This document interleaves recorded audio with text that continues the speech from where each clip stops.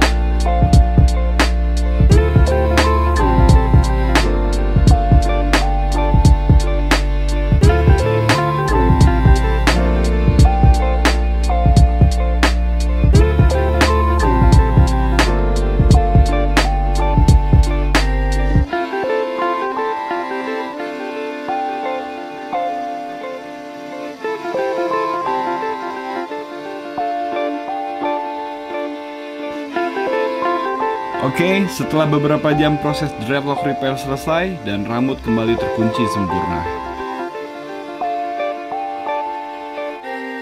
Jangan lupa Dreaders, like, comment, and subscribe Dreadlock Studio Indonesia di YouTube channel.